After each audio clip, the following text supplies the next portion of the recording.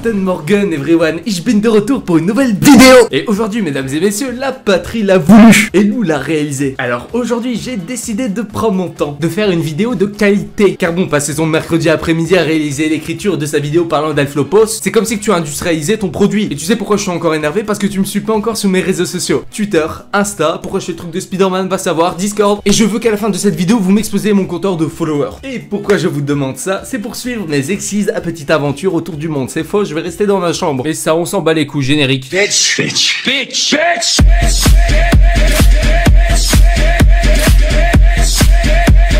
Flop, flopos, floupy, RST mousticente issu du latin.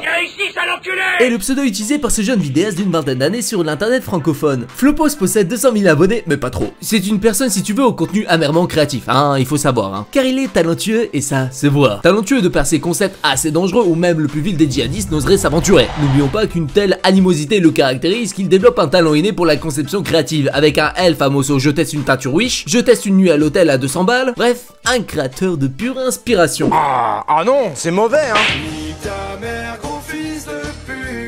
bah, je sais, mais c'est pas mieux Cet homme est un fou dangereux. Dangereux car il s'entraîne dans des conditions assez extrêmes pour gagner en popularité. Prétendant des productions hollywoodiennes abordant des sujets plus que sensibles. Comme 24 heures pour manger du fast-food, tomber en public IRL Prank ou encore Projet.mp4.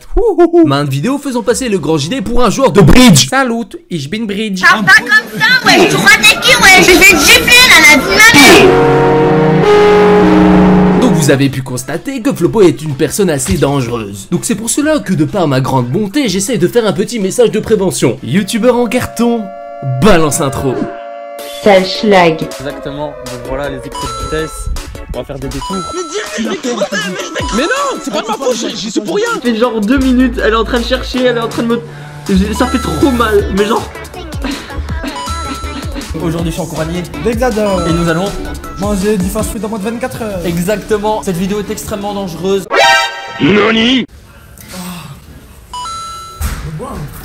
Ceci était un message de, de prévention fait par une chaîne de...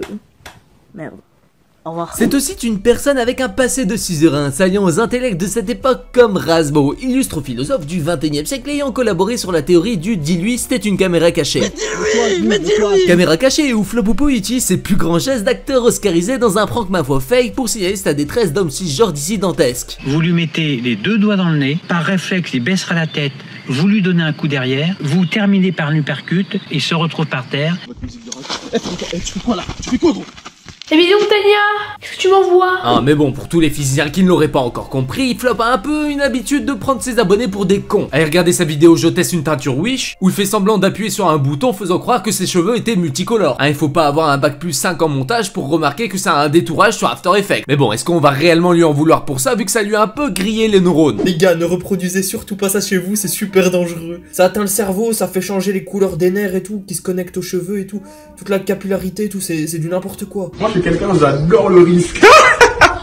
J'adore le risque D'ailleurs, si vous voulez un peu plus d'informations sur ce sujet, allez checker la vidéo du radis radier, la vidéo est en description. Donc pour résumer, la recette principale afin de faire du flop est la suivante. Il vous faut deux ingrédients, dont un peu de grenadine et une grande quantité de shot Vous mélangez ces deux ingrédients avec vos lunettes Minecraft chopées sur le marché un samedi matin, d'accord? Puis, présente, mais pas des moindres, dans un élan de bravoure, vous buvez le tout. Et là c'est bon, vous êtes enfin prêt à créer un contenu qualitatif afin de régner sur le YouTube jeu. Mais après tu dois te dire, du haut de ta bourgade comptant 5000 habitants, comment une civile petite coquine. Alors si tu veux, il y a plusieurs hypothèses. C'est-à-dire que Flop correspond grandement à ma ligne éditoriale. C'est-à-dire un mec qui ne se prend pas pour de la merde, qui ne voit pas qu'il fait de la merde, saupoudré par un zeste de violence et d'irrespect. Mais pas que, car Lou fucking Lou n'est pas un gars tapant sur les plus démunis. Donc on passe à la seconde hypothèse.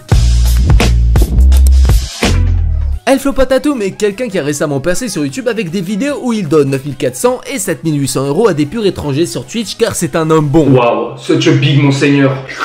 Cocasse situation fut-elle lorsque Dimitri, youtubeur dont slash redbox like Oh c'est bon nique ta mère Ce youtubeur a débunké en 10 minutes 05 deux vidéos. La première vidéo était une grosse donation envoyée à une streameuse. Et la seconde fut un extrait où il a reçu plus de 7400 euros dans un live aussi existant que sa carrure. Charlie ou pas Charlie?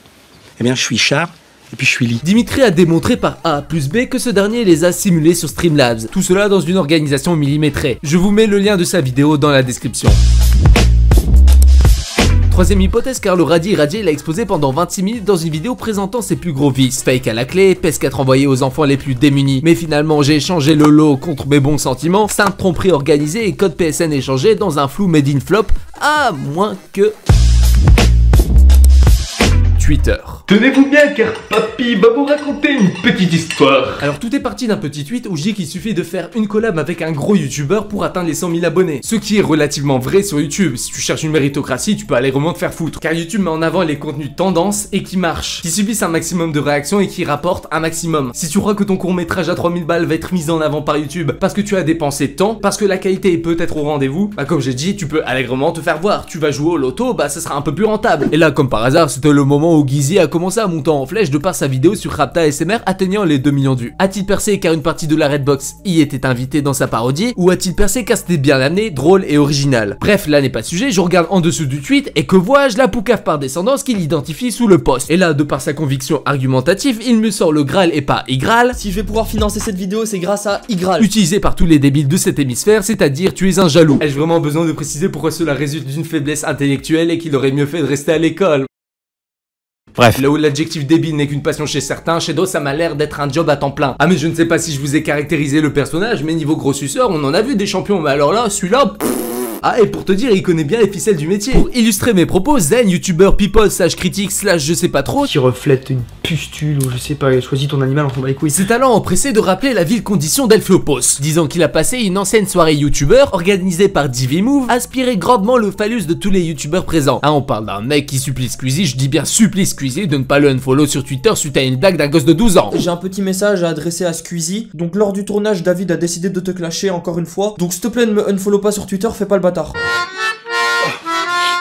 Bref, revenons à nos oignons, du haut de son corps taillé à la bud dans les zinzins d'espace, Lopo a décidé d'affronter Zen aka qui est devenu en 1v1 singulier et a proposé de me déformer la gueule car j'ai déformé ses propos. C'est-à-dire qu'il a eu du mal à comprendre une phrase disant mot pour mot YouTube en ce moment c'est fou, il te suffit d'une collab pour atteindre les 100k. Alors qu'à côté si on n'a pas de réseau, nous autres on a qu'à se débrouiller comme des merdes, peu importe la qualité du contenu. C'est alors qu'il se ramène en disant l'argument c'est qu'il le mérite. Bien entendu le simplet du village a fait son effet en répondant complètement à côté de la plaque. Ce qui amène à la question suivante. Montre-moi donc où est-ce que j'ai marqué qu'il ne méritait pas ses abonnés. Cherche bien, tu trouveras peut-être de l'or. Mais par contre, chapeau, Elflopo, tu oses menacer des personnes sur Twitter, mais lorsqu'on a la réaction avec un taux de virilité aussi bas que le PIB du Congo, on ferme sa gueule. Car tu t'es attaché à une fille pour une vidéo et que les menottes font trop mal. Je fais pas de geste brusque, hein, parce que là tu peux me mettre une clé de bras là. Et que tu te retrouves au pied de Mathilde 45 kilos en chouinant, c'est comme limite affronter quelqu'un en 1v1 sur Minecraft avec une pioche usée. Tu sais qu'à tout moment tu peux le briser avec une touche.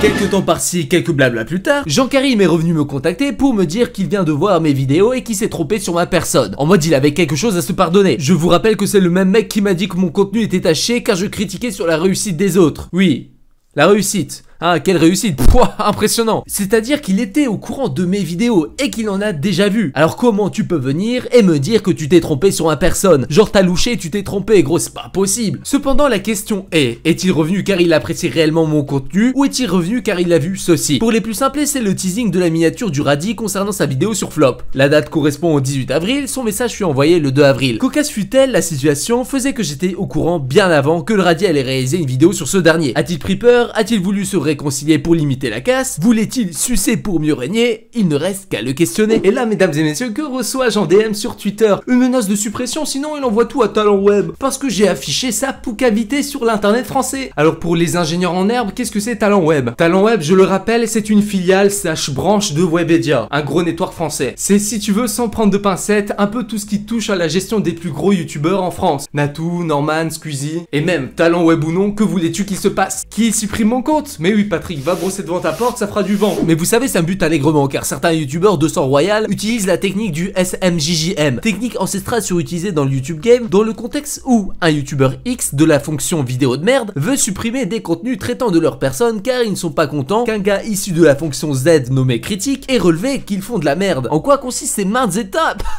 Ne bouge pas, je vais te carrioler sans rioler. Je porte plainte pour diffamation harcèlement et incitation à la haine. La technique du SMJJM se résume en quelques points. Étape 1, salut, je suis gentil. Étape 2, mais, étape 3, je vais contacter mon network slash je porte plainte si tu supprimes pas. Étape 4, on fait une vidéo à deux si tu veux. Étape 5, mais t'inquiète, je suis gentil. Voilà en gros la méthodologie utilisée par les plus gros youtubeurs afin que tu supprimes une vidéo que tu as réalisée sur eux. De deux, vous avez dans 99% des cas la flemme et pas d'argent. Et dans les autres 1%, vous vous appelez Cup. De 3, en cas de diffamation, vous ressortez le même article essayant de faire peur à l'autre, disant qu'il y a 12 000 euros d'amende à payer. Ah, merci à toi FC Beat, tu as démontré à tes abonnés que tu savais lire. Mais par contre, je te mets 2 sur 20 en logique, peut mieux faire si elle passait moins de temps à se taper toutes les queues du YouTube Game.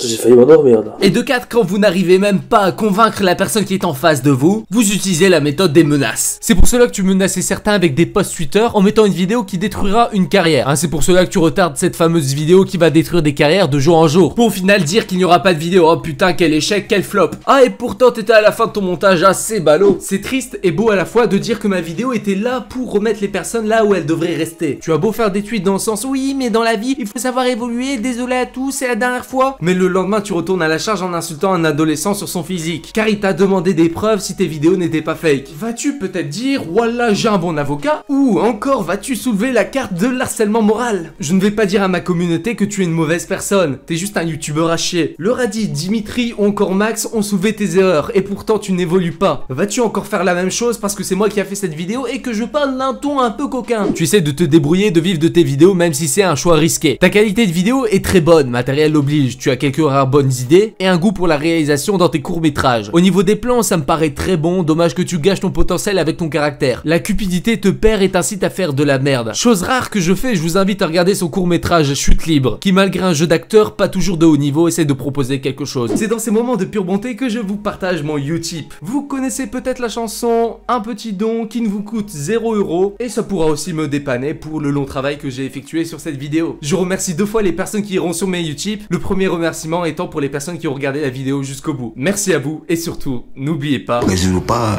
on bat les couilles. Hein. Lâche un like, ho ho, abonne-toi, mm -hmm. enterre tes morts, suce ton père.